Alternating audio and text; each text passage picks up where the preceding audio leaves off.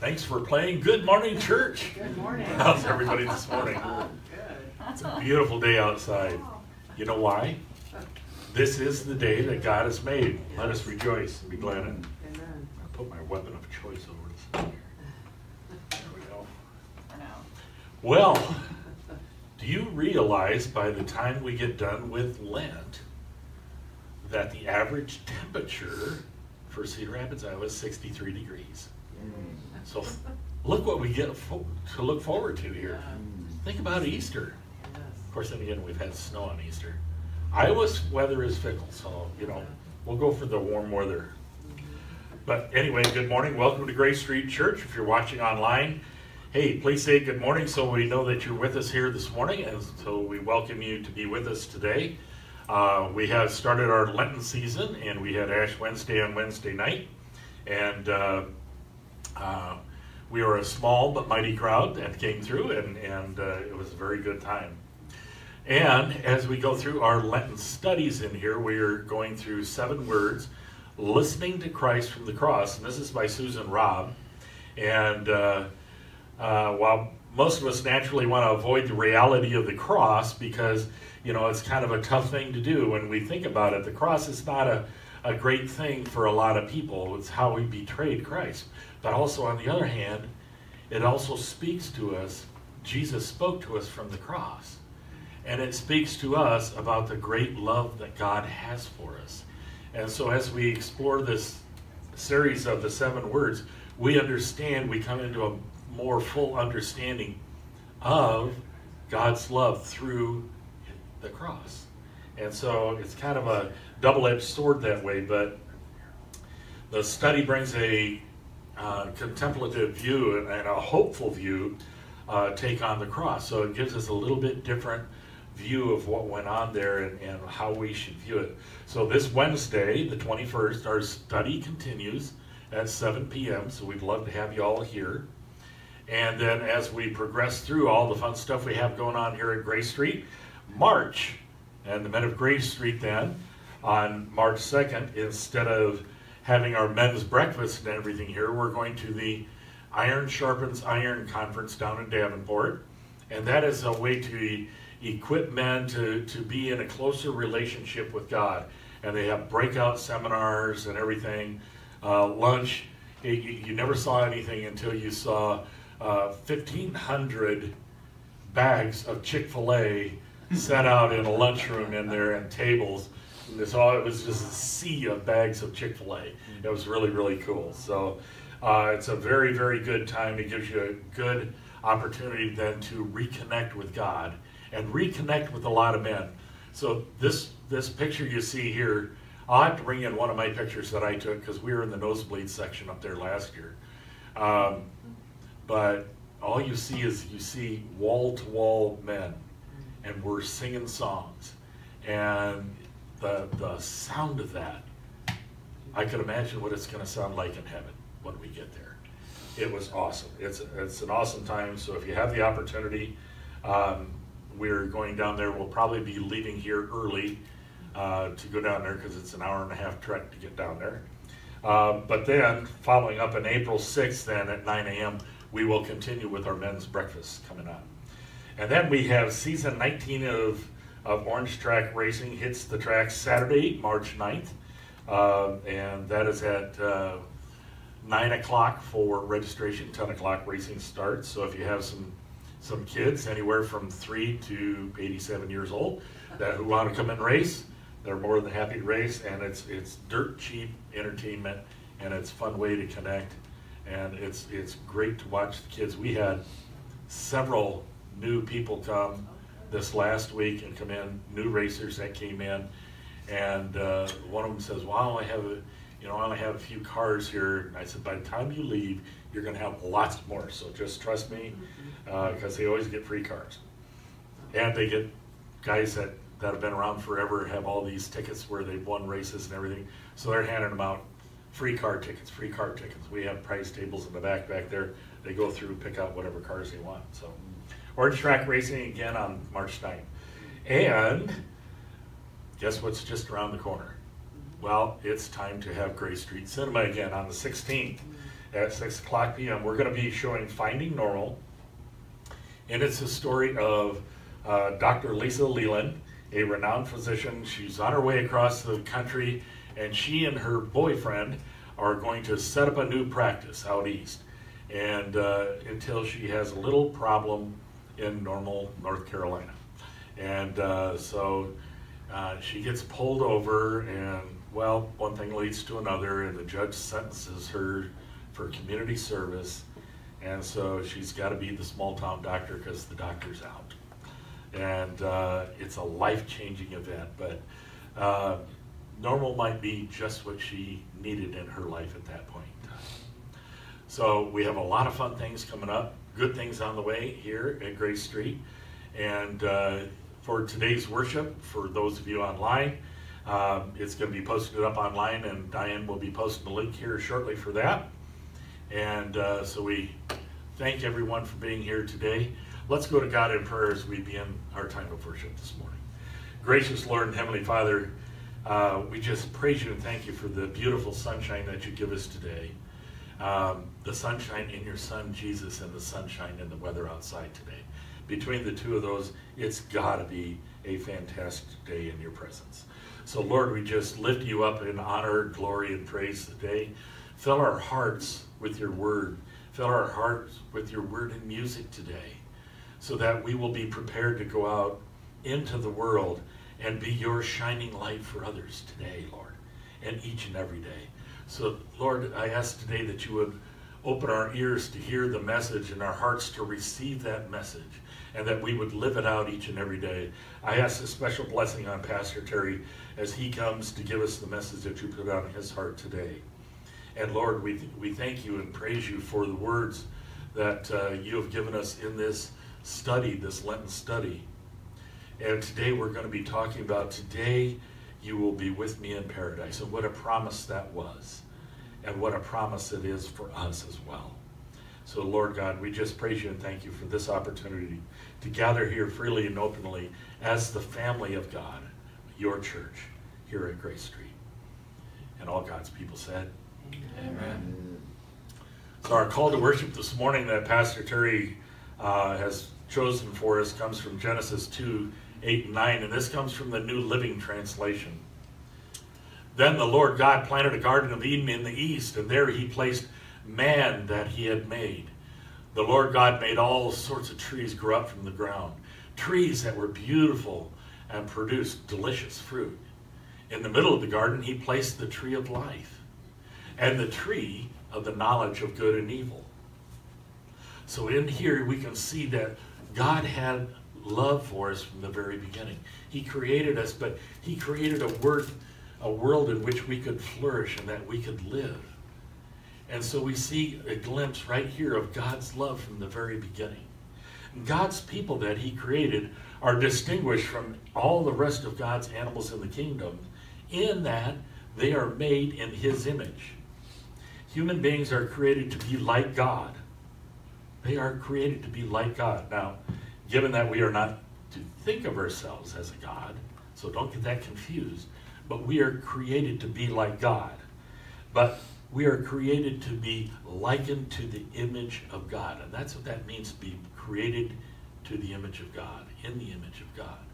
So we are to be like God, which means we are to be a godly people and to follow God's direction to be a godly people. Our behavior should mimic that of our Father in heaven in his son Jesus Christ.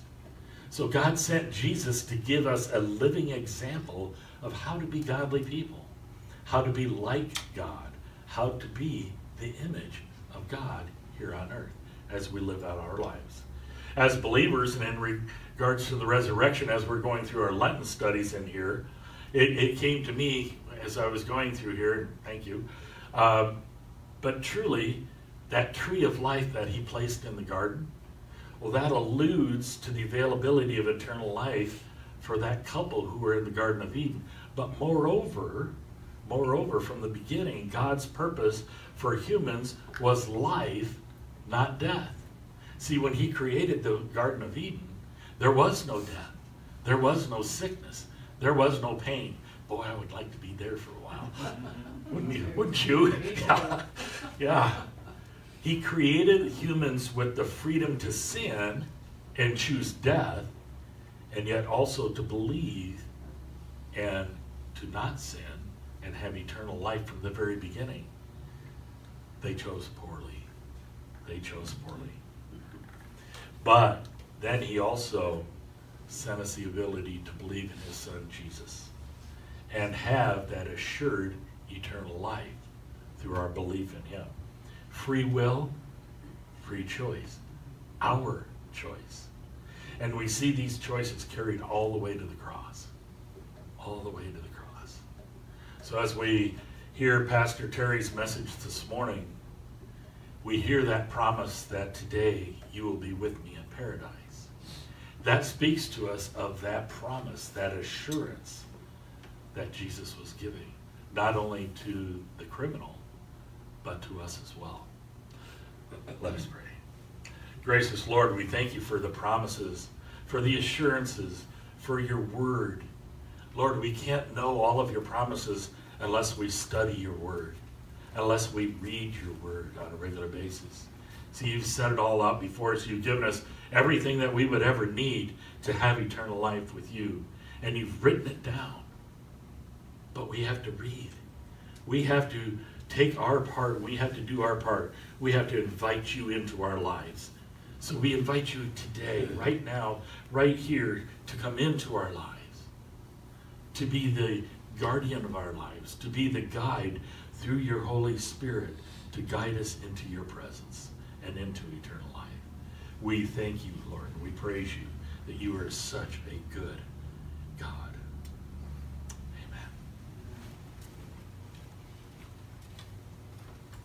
Amen.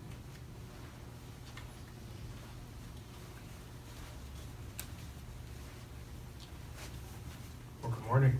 Good morning. I think Mark was like, Genesis 2?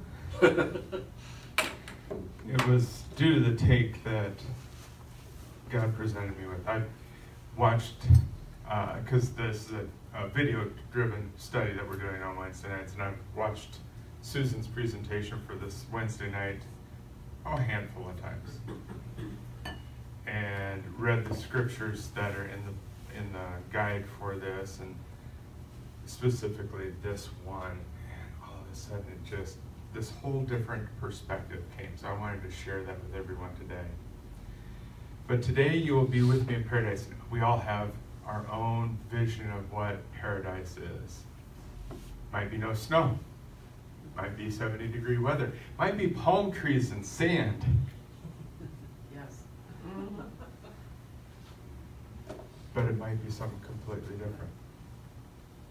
And in a world where things are just coming at us left and right, we were talking about uh, how uh, our uh, Iowa girl, Caitlin, had beat the scoring record for NCAA women this past week, and how the people have come out and are against her, and all these different things. And it just reminds me of how quickly uh, messages come and go.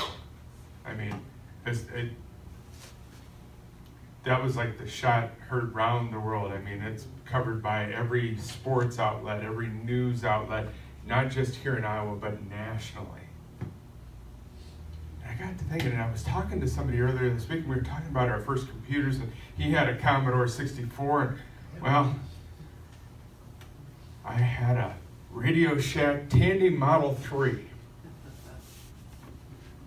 and most of people don't hear this term very often, but it had 64 kilobytes of memory, of RAM memory to it. That's like one little piece of sand in today's world. I mean, these things, this thing does way more than that thing ever did. This has got a color screen and a processor that just does laps around it. That had pixeled screens, so everything was a little box. and how much more can we do now? I remember Dad would take, he, we had access to not the internet because that one that wasn't available. It was a bulletin board. So you took your phone off landline for, if you don't know what that is, Google it. Took the receiver up off, and it was a a rotary phone in the in the den, and he would put it on a coupler. And that's how you got the tones to go through the, the uh, lines there. Now, anymore, we can just, uh, in fact, I was showing Mark a shortcut to how to silence his phone. Just one button. Used to be uh, this is like this, and I learned all the shortcut keys, and I still use a lot of those shortcut keys because it's quicker than mousing around. But all we have to do is tap a button, or even just speak it. Last night we were having a little bit of fun with. We got one of those little Google Nest Minis in our living room. We were having fun asking how old different actors were as we were watching a show after we watched a show. And then, of course, we got cute and asked good old Google how uh, how old I was or how old Diane was, and she was like, "I don't know that." good, but at that point in time, as we're as technology is really coming into into uh, our homes, we had this uh, how it would make work easier, and there was all this talk about the paperless desk. I don't know, I don't know about you, but I have paper everywhere and relationships would get closer because you could get, you know, faster togetherness, right? And now we even have video calling, you know, we see each other. Apple, it's FaceTiming, Google Meets, uh, Teams, all sorts of different things to come together. There was a hope that this technology would bring us into some sort of paradise of sorts with work where it wouldn't be so hard. I couldn't be further from the truth. In today's technology filled world, it's so easy to feel isolated and alone. Because of technology, I work from home in my basement office, alone. I see no one. I see a wall. So you feel isolated, you feel alone. And this same technology that was created to keep us closer to one another is seemingly pulling us apart. Some even feel forgotten, not just by their work or other things, but by their friends and their family. For many, it's a living hell. And it can extend even further than that. It can extend to the point where many think that they are not good enough to win someone's heart or to get that promotion, or the list goes on and on.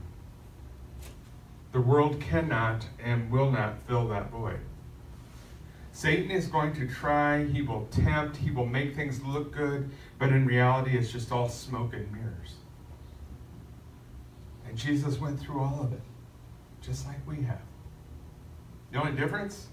He didn't sin.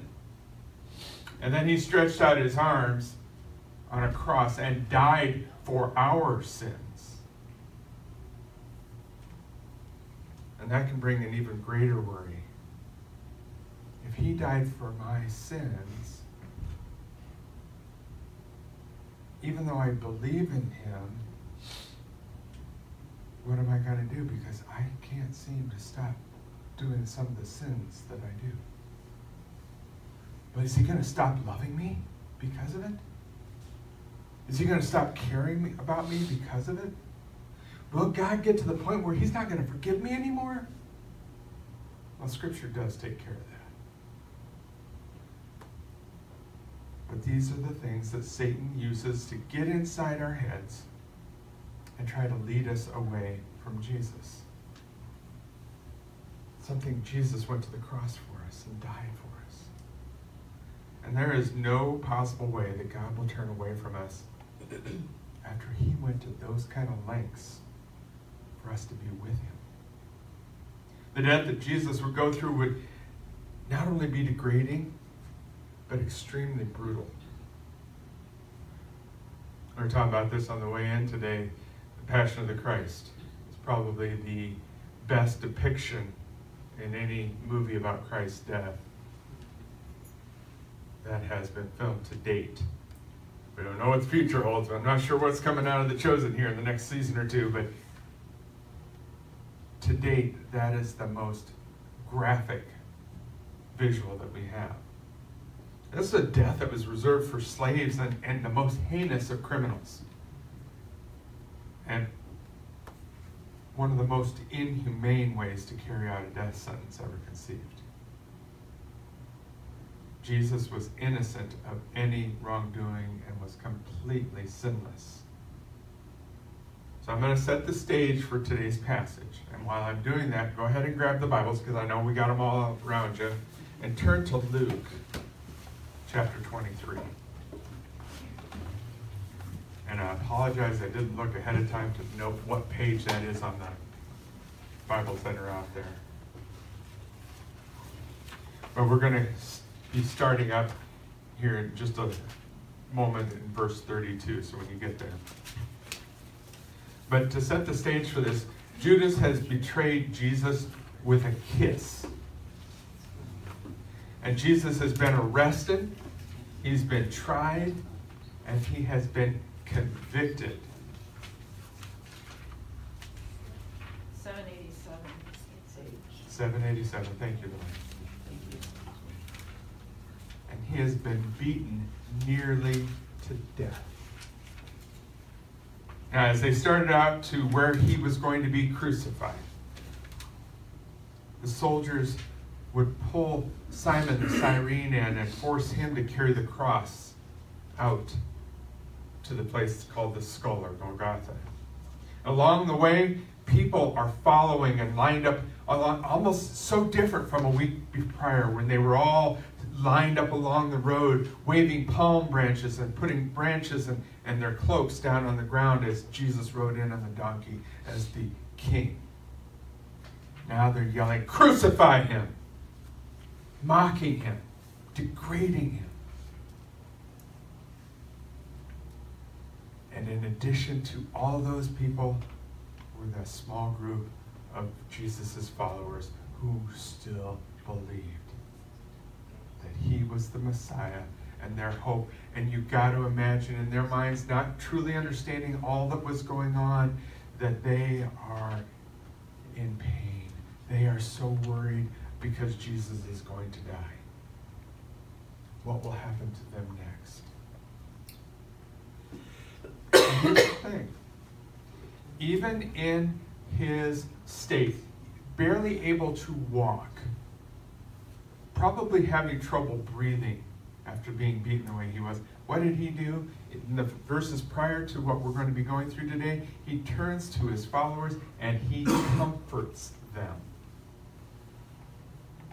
Not concerned about himself, but about us. He turns and he comforts them, and that is a comfort that carries on to this day. So let's look at this passage, and we're going to break this up into different pieces. So um, just follow along.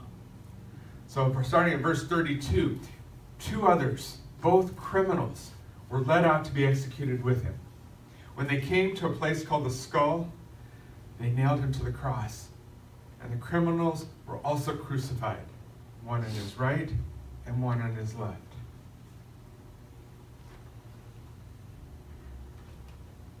And about the sixth time I read through this this week, all I heard in my mind was sons of thunder.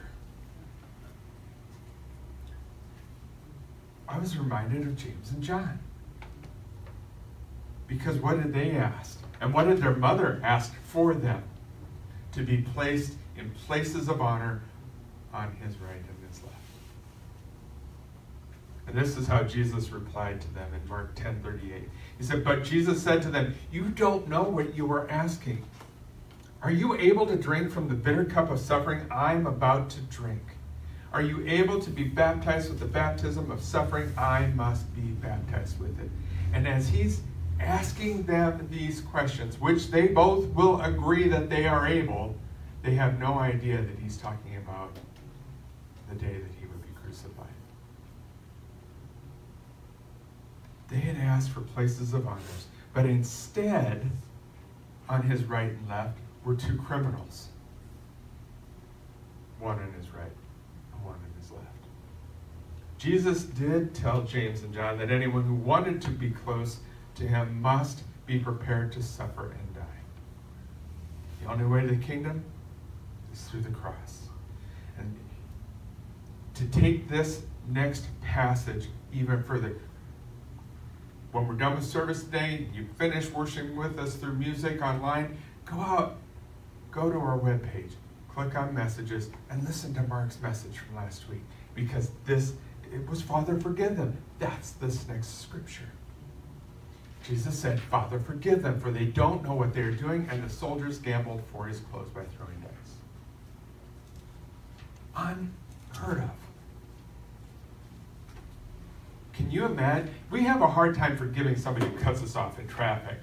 Jesus is saying, Forgive them, for they don't know what they are doing.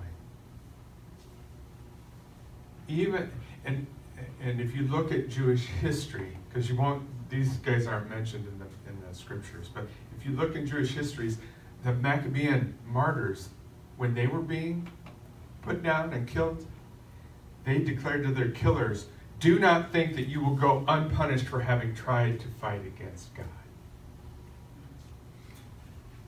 But Jesus came to save the world. The message that Mark gave us last week was a summary of Jesus' entire mission and purpose here on earth to bring us forgiveness.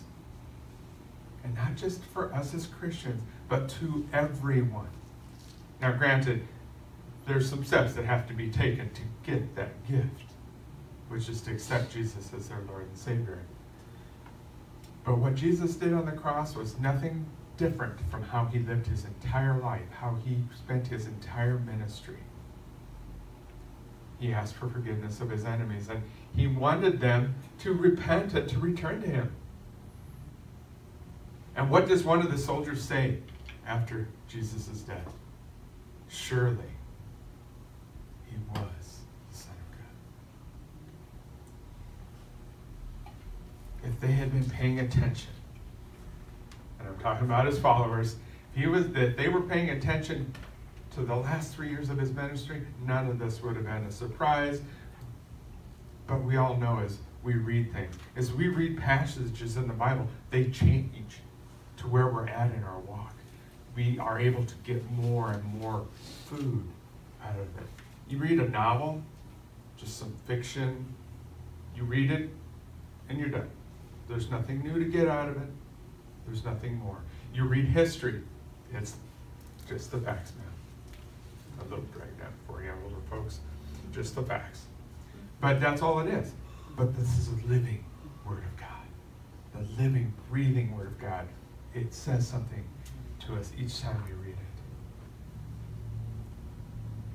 it. In the Sermon on the Mount, Jesus said, and this is from Matthew uh, 43 and 44, you have heard the law say that love your neighbor and hate your enemy, but I say love your enemies, pray for those who persecute you. Love them, pray for them. And as Mark said, you have to bless them.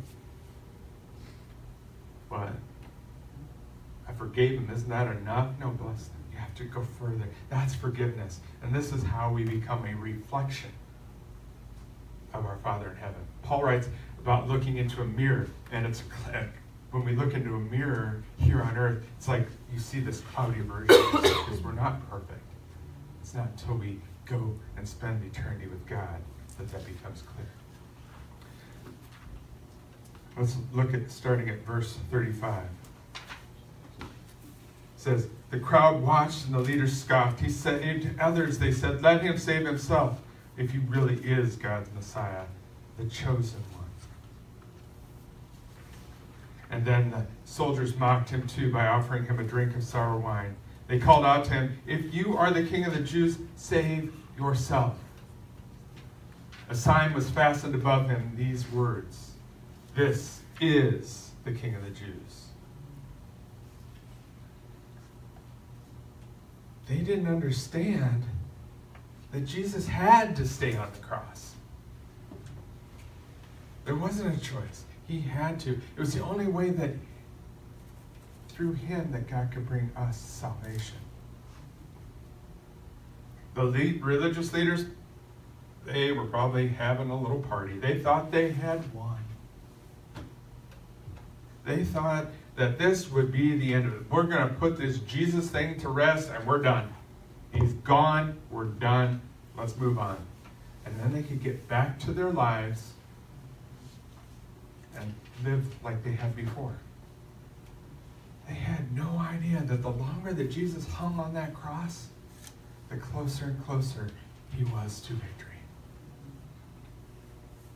And as Jesus hung on that cross, nearing a victory that most could not and still do not understand, they continued to jeer and mock him. Today we see this in our sporting events. Talked a little bit about that earlier.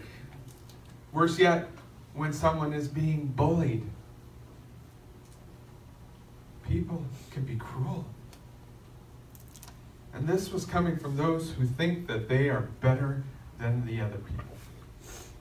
My team's better than yours. I'm better than that person. They're just they're just a geek, and I'm trying to remember the term that I, they used on. We like watching NCIS, and they, I forget what they called McGee this past week in the, the new season.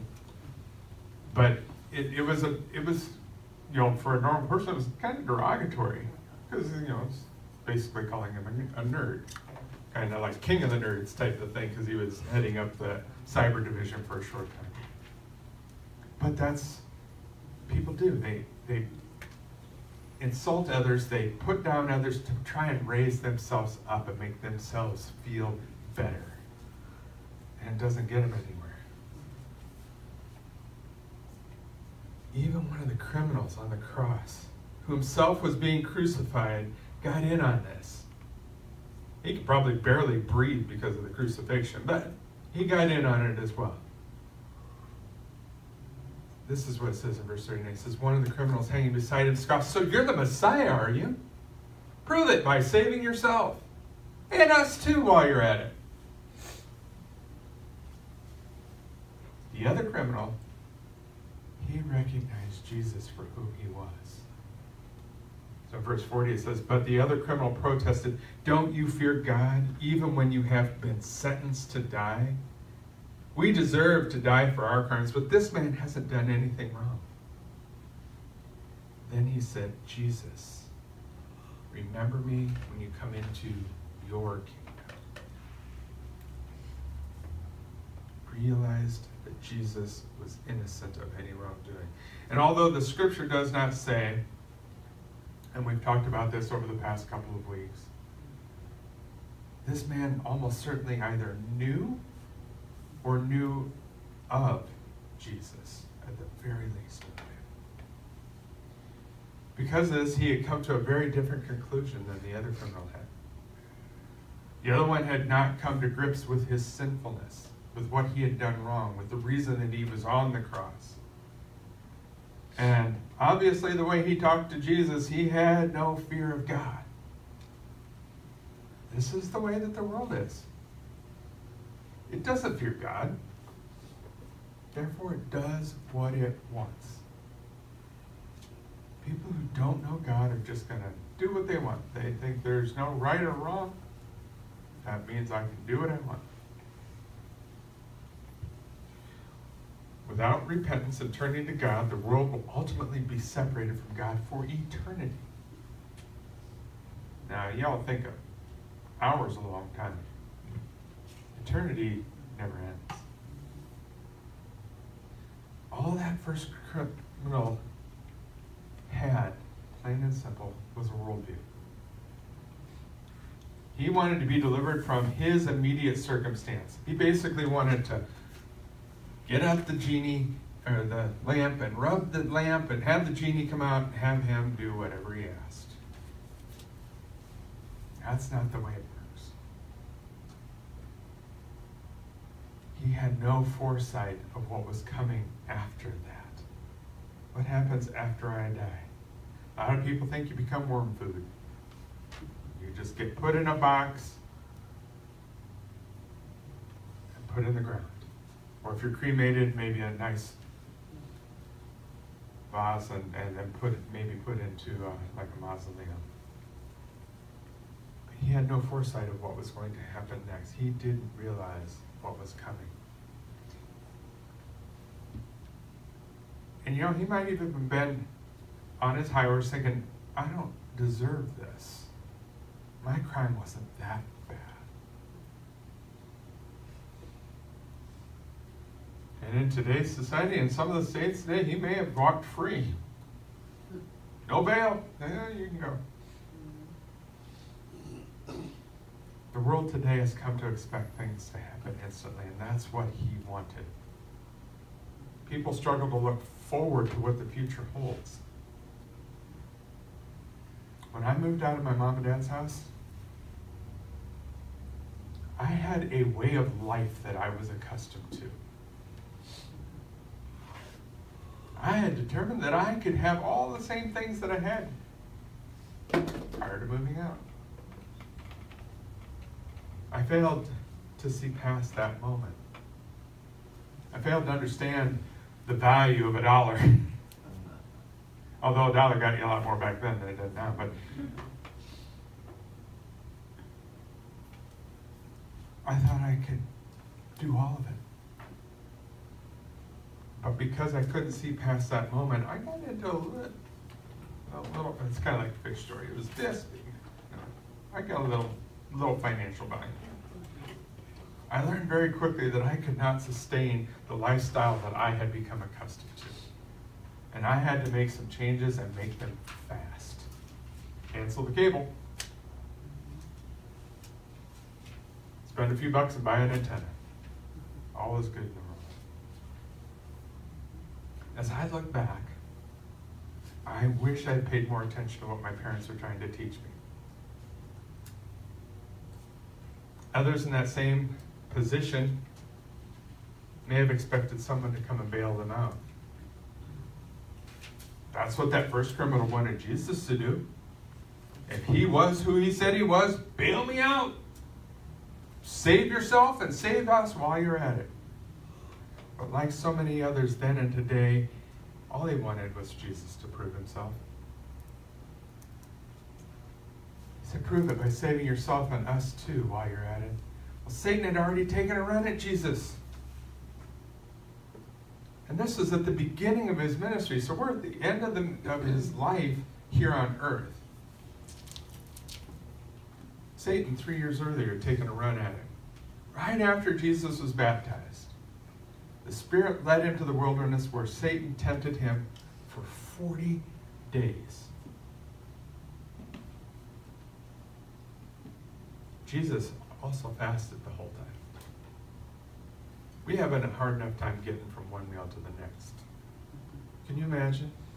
And then going through all of that, and then being tempted, being pulled down. He got to a point where he was weak physically and mentally. And Satan would tempt him three times each time tempting him to go against the Word of God. And each time, Jesus would use the very Word of God to basically put Satan in his place. The second criminal, because of his knowledge of Jesus, understood that they weren't getting out of that situation that they were in. He also realized that there was something beyond that situation. It was in this realization that he rebuked the other criminal. And then, with a repentant heart, he turned to Jesus, saying, Jesus, remember me when you come into your kingdom. now, is it possible that this second criminal said some things he may have regretted in his life, even on the cross? The scriptures don't tell us that he mocked Jesus just the first criminal. But it's possible that he got caught. How easy is it to get caught up in something somebody else is get, doing, right? How many other people, and we'll talk probably a little more about this on Palm Sunday, but a lot of the people that were lining the road may have just been along because of the crowd, not realizing exactly what was happening. But then, he heard Jesus say, Father, forgive them, for they know not what they are doing. And that was enough for that switch to go up and remind him of who Jesus was. It was enough for him to place his faith in Christ and to ask to be remembered. Ask. The crowd that had been mocking Jesus was telling him what to do. If you are the Christ, take yourself off that cross. Call on God to save you, telling him what to do, what they want. The second criminal, he just put his faith in Jesus and asked. And Jesus replies, I, I assure you, today you will be with me in paradise. See, when we put our faith in Christ alone, then we receive his salvation. And just like those two criminals, we all make mistakes. I'm certainly not perfect. We recently had a, we got our team switched around at work, and I was getting a little bit more uh, praise from my peers than I cared to. And it's like, yeah, can y'all just knock me off that pedestal now so I don't fall off of it later? I don't like being put on that pedestal because there's a dangerous thing that can happen. And that's what the, the world does. Yeah, we've already posited that that second criminal likely knew or knew of Jesus. I have to wonder if, as a child, he went to synagogue with his parents. He could have personally heard one of Jesus' teachings, or someone may have told him about it, because Jesus was all the talk. It's even likely that at some point either John or one of the disciples baptized him. Scripture doesn't tell us. But based on the way he's acting, I have to believe that there's a good possibility that he was. Just like any of us, only God knows our heart. When Jesus told him, Today you will be with me in paradise, that tells me Jesus knew, God knew his heart. He knew it was pure and he knew he was asking from a right place, and that's why he got the response he did. Now, I truly believe that he lived a life that he wished he could change. And if he were to live, if some by some miracle he were to come down off that cross alive, he would live a very different life. But in that moment, he did exactly what he needed to do to be reconciled with God. When his physical body could no longer survive and he died, Jesus fulfilled his promise to that criminal. On that very day, he entered paradise, entering into God's presence. And this is where Genesis 2 popped into my head. I was thinking back to the very beginning. In the garden, Adam and Eve were in God's presence.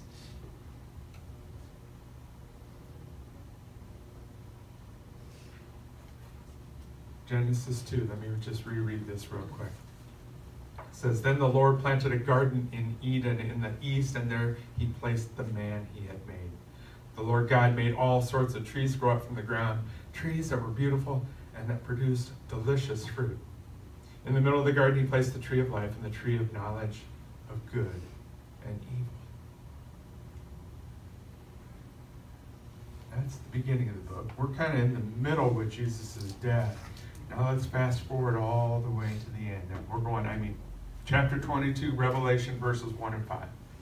Then the angel showed me a river with the water of life, clear as crystal, flowing from the throne of God and of the Lamb. It flowed down the center of the main street. On each side of the river grew a tree of life, bearing 12 crops of fruit, with a fresh crop each month. Leaves were used for medicine to heal the nations. No longer will there be a curse upon anything. For the throne of God of the Lamb will be there, and his servants will worship him. And they will see his face. And his name will be written on their foreheads, and there will be no night there, no need for lamps or sun, for the Lord God will shine on them, and they will reign forever and ever. Genesis, God made all sorts of trees grow from the ground. They produced delicious fruit. Revelation. On each side of the river grew a tree of life bearing 12 crops of fruit.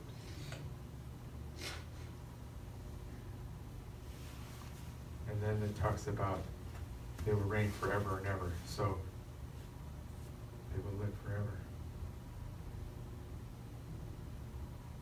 That's no coincidence. This is Jesus woven from it, the beginning to the end. We often dream of places where we'd like to go in our life, the things that we'd like to do. Yet not one of those things or places can hold a candle to the paradise that is to come.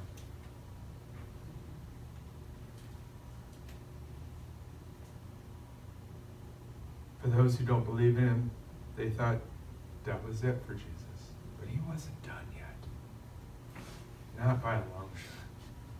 He was just getting started. This gospel story is for everyone. Just like the two criminals who had a choice, so do we.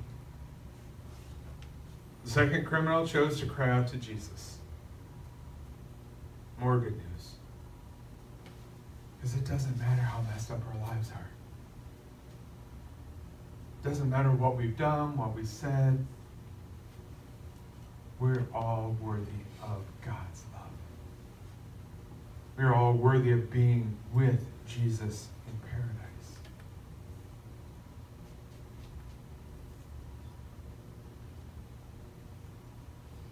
And I think about this a little more now than I probably did 20 years ago because I'm on the other side of the, the pendulum has swung from the young side to getting closer to the end of my time here. But we don't know how long our days are. We don't know what tomorrow will bring. That's why it's only too late after you've taken your final breath. So, where do you want to spend eternity? For me, I hear Jesus saying, Today you will be with me in paradise. Father, thank you that you sent Jesus to take away our sins. Thank you that when we accept your Son, Jesus, as our Lord and Savior, that we, by your grace, your mercy, your love, and your forgiveness, we are made righteous in your sight. That is a gift that should never be left unopened and never returned. Father, let us open this gift. Let us have life through your gift. And through your gift, Father, I know that I will be in paradise. I pray that others choose that same gift so that we can all be together with you in paradise. Help me to share this gift by offering it to others. Help me to live each and every single day with the knowledge that you have not and will never forget us. Father, I want to be your humble servant all the days of my life, and I pray that for all my friends and family, whether they know you or not, Father, I pray that they would come into a relationship with you we could be your humble servant together. In Jesus' mighty name I pray. And all God's children said, Amen.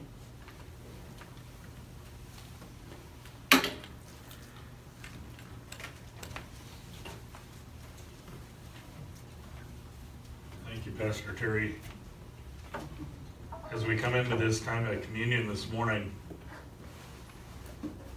I want you to think of the words that Jesus was giving Nicodemus as they were meeting in secret. And he told Nicodemus that no one can enter into the kingdom of heaven unless they are born again of water and the Spirit. And so here we have these criminals that are being crucified, one on his left and one on his right. And a lot of times, I, I posted this up online a few months ago, and I had some detractors immediately jump on it. The Pharisees, I call them. They jumped on it and said, "Well, that criminal that was that was on the cross, he didn't get baptized." And I said, "How do you know?" See, here's the thing. He called Jesus by name. He called him by name. That meant he. Number two, he says, when you enter into your kingdom, remember me. So he knew who he was. He believed who Jesus was. See, that takes a relationship. That takes knowledge. He wasn't just somebody being hung on the cross. He needed to know Jesus. And because he knew Jesus, because he called out upon him, because he believed who he was and said, to, Jesus told him that today you will be with me in paradise. He invited him to come into his kingdom. There's a lot more to this story than most people care to think about. They just buzz through the lines and read them without realizing it. But see, that speaks to me because each, each one of us is going to come to our own cross. And it comes down to do you know Jesus or do you not know Jesus? Do you believe in who he is? Because if you don't, you're not getting into the kingdom. So we need to be like that criminal that was crucified. We need to know Jesus.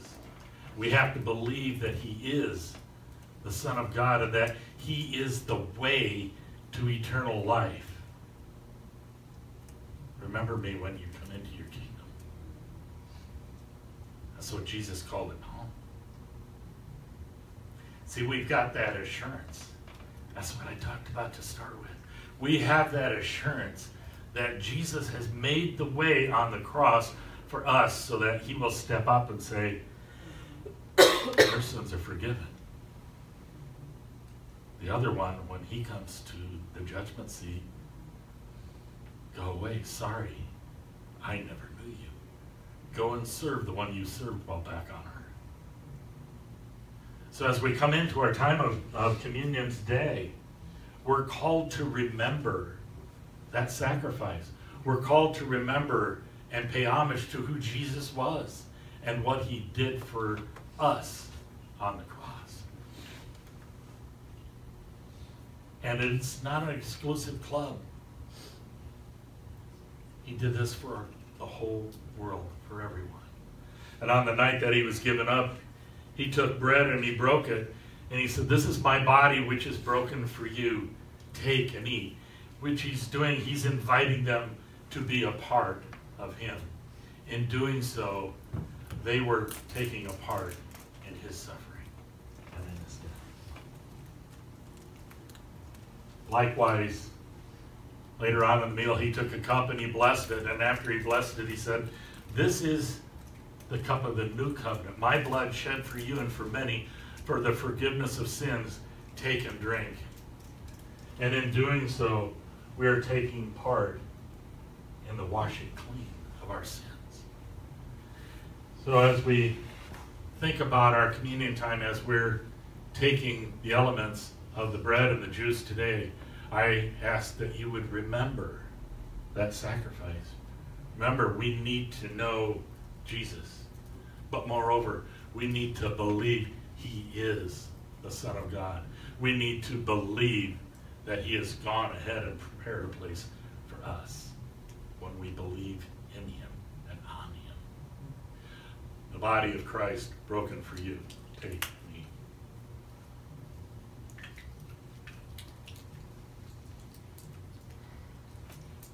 The blood of Jesus shed for you. Take and drink.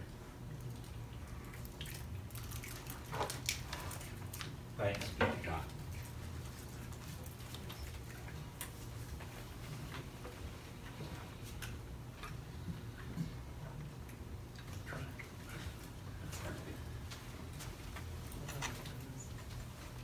Good morning, everyone. Good morning. And it's now time for prayers for the people. So if anybody would like prayer, I'll add you to my list. So, all right. Well, Father God, we come into your house to praise you this morning, to give all honor and glory to you as we lift the people up in prayer and thanking you for all your mighty works that you alone have done and are going to do in our lives.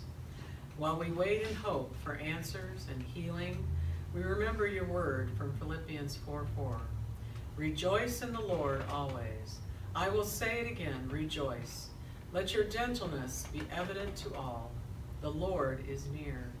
Do not be anxious about anything, but by prayer and petition with thanksgiving present your request to God, and the peace that passes all understanding will guard your hearts and your minds in Christ Jesus. Father, we lift up Amanda and Kelly to you today. We ask you, Father, to sustain them in their ongoing trials. We ask for loving and knowledgeable caregivers to help them from one step of their kidney affliction to the next. We ask for help and healing in everyday trials. Be with them and comfort them as only you can. Father, we lift up Bill and Vicki as Bill faces multiple surgeries on his leg, and they both are fighting other health issues as well. Father, we ask that you let the Holy Spirit guide them through the valley they are going through at this time in their lives. Give them healing, hope, and compassion in each new day. Father, we pray for Becky's kids, Jennifer and Alan, and their addictions. Father, you know their hearts. Lead them every day, guide them, help them with their addictions, Lord God. Help them to say no to the world and yes to you. In Jesus we name, we pray that for them. Father, we ask you to bring our children and grandchildren into a right relationship with you, and we thank you for the, for the blessings, Lord Jesus. Sustain and give hope to our homeless. Guide them through each new day. And we praise you for the job that you have given to Nick. Thank you, Father God. Father, we lift up Mark and Joe and myself for healing for Mark and Joe's knee and leg, and my neck and shoulder. You alone give the power of healing to all you choose. So I humbly ask this day for your blood to wash over us and cleanse us from all attacks of the evil one on our bodies. Let us breathe in your holy power as you provide the means for our bodies to be repaired and bring new life into our limbs. We give all glory and honor to you this day for this blessing that you will provide. And we thank you, Jesus. As we pray and petition for all to be healed, let us always remember that your word is healing to our minds and our hearts. Help us to not lose hope, for healing takes time. For some, a short time, for others, a long time. But you alone, Jesus, hold the power for all things. As it says in Philippians 4:13, I can do everything through Christ who gives me strength. So for those that are here and online today, know that God loves you and he alone will sustain you and free you from any power the evil one has thrown at you in your life. But we need to repent and read his word in faith believing that God is our healer in all things. I say it again, God is our healer.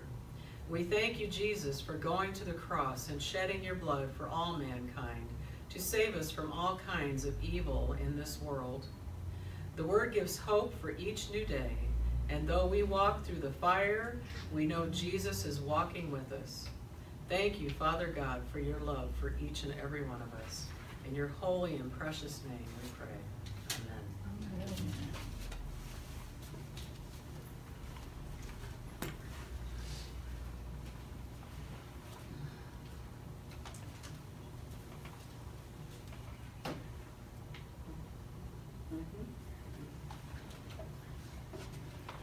Was on my way here Wednesday, and I was listening to the radio, and a song popped on I had never heard before from an artist that I'm very familiar with. His name is Rhett Walker. And it's our first song. It's a little bit slower song, so that's why I started with it. But it, the message, and Mark's smiling. I think he has to know exactly which one that is. It's, the name is Man on the Middle Cross. And as I was driving it, I could just feel the Spirit flowing through me. It was an amazing feeling. And it's just like God saying, Here you go. Like, thank you. And they said, Oh, by the way, here's another song for you. A little bit different version than maybe what you're used to. But it's it's a hymn kind of like this is in the vein of say like something that uh, Todd Agnew or Chris Tomlin did with Amazing Grace, but with the old rugged cross. But it's the old rugged cross. I am free, by a group called Bridge City, which is part of Maranatha. And certainly we're going to listen to De- uh, sing "Death Was Arrested." And as you were praying, I thought of the next song, "Living Hope." And I couldn't get, I just couldn't just stop at four, so, and I didn't go to six, so it's, it's, it's we the kingdom holy water oh, to round us out and take us to the end of the, of that time. But in that first song, I love this, this path where it says, I've been the one on the left, full of guilt and regret. Long gone on the wrong side of living. We've all been there. But Jesus takes that away. Father, I thank you that while we have been on the wrong side, you've given us the opportunity to make a change in our lives. You've given us things that we need when we need them. Your time, not ours. Jesus told us, ask and you will be given. But too often we demand and then get mad. Father, let us be repentant like that second criminal. Let us come to you before you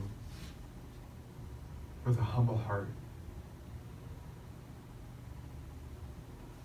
Father, each and every day whether the day has been good or bad or indifferent.